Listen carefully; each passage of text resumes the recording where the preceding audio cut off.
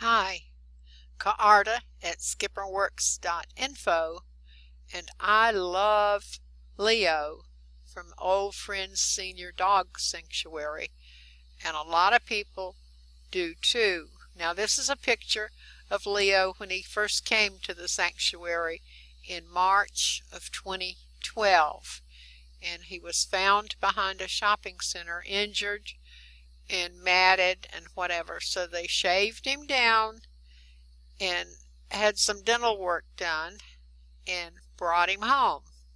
So the good news is if you are a Leo fan and want one of his t-shirts, they're going back on special sale again at bonfirefunds funds.com slash org slash OFSD S.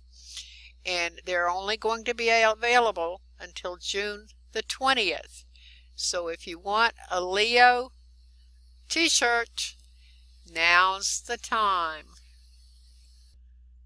When you purchase a t-shirt, it helps fund the Old Friends Senior Dog Sanctuary. So this is where you go to get your t-shirts. Good luck and you're going to love it. Go to bonfirefunds.com, then Old Friends Senior Dog Sanctuary dash 1.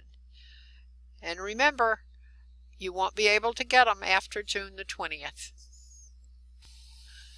Lacey here and Leo are being featured this week on the face cover of the Facebook page for Old Friends Senior Dog Sanctuary.